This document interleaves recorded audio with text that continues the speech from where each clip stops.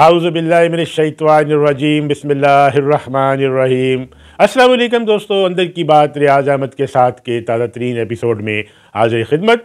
एक नया दिन और एक नई सूरत हाल दोस्तों। बिल्कुल पल पल बदलती हुई सियासी सूरत हाल जो है, वो हर गुजरते दिन के साथ मज़ीद रफ्तार पकड़ रही है और करवटें बदल रही है।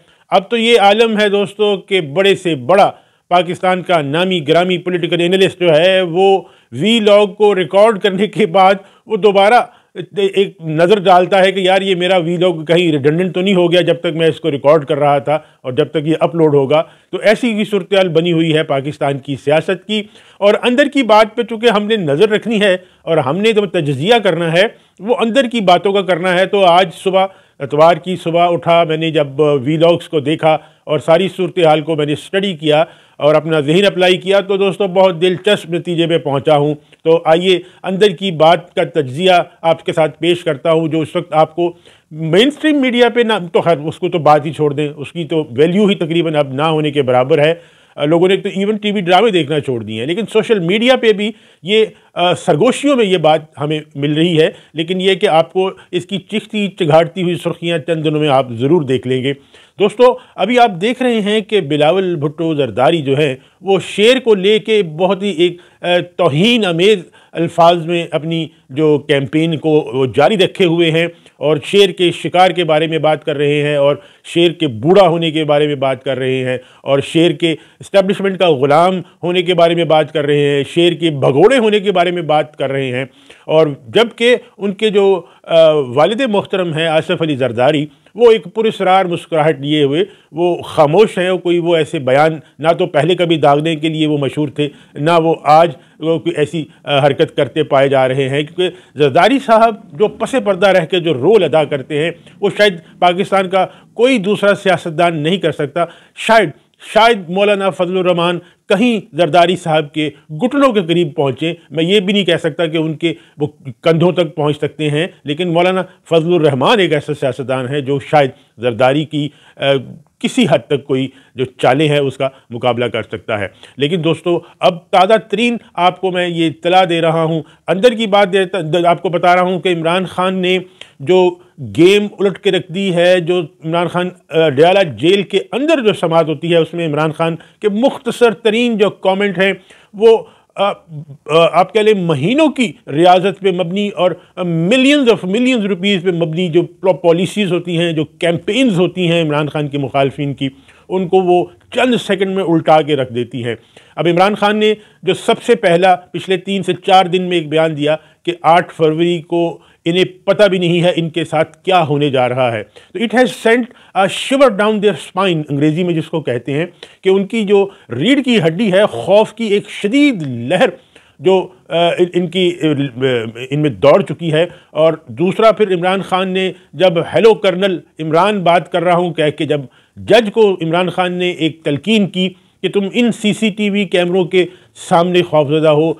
अल्लाह को क्या जवाब दोगे? और फिर हमने देखा कि उस जज के दिल में भी खौफ खुदा पैदा हुआ और उन्होंने भी एक अपनी छुट्टी की दरख्वास्त दे दी ताकि ये आखिरी गुनाह कम अज़ कम उनके ज़िम्मे ना आए। दोस्तों, इसी पे बस नहीं हुई।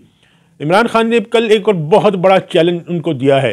इमरान खान ने कहा कि तुम लोग जितने चाहे जलसे कर लो बिलावल के लिए कर लो, नवाज़ शरीफ के लिए कर लो, मरियम नवाज़ शरीफ के लिए कर लो, पूरी रियासती ताकत इस्तेमाल कर लो। मुझे सिर्फ़ इलेक्शन से तीन दिन पहले बाहर निकालो, मैं तीन जलसे करूँगा। और फिर देखना तारीख खुद फैसला करेगी कि कौन पॉपुलर लीडर था और किसकी आवाज़ पे अवाम ने लब्बैक कहा। दोस्तों, मेरे अंदर की बात के जो तजिए के मुताबिक, ये एक आखिरी कील साबित हुई इमरान की बात इनके ताबूत में। और अब जो ख़बरें आ रही हैं दोस्तों, जो सरगोशियाँ हो रही हैं दोस्तों, वो यही आ रही हैं कि बिलावल भुट्टो जरदारी को एक बार फिर उनके अब्बा जी की तरफ़ से शटअप कॉल मिलने वाली है और शायद हमें फिर वही नाराज़गी का सीन देखना पड़े और बिलावल भुट्टो जरदारी शायद एक बार फिर कैंपेन को छोड़ के दुबई रवाना हो जाएँ दोस्तों।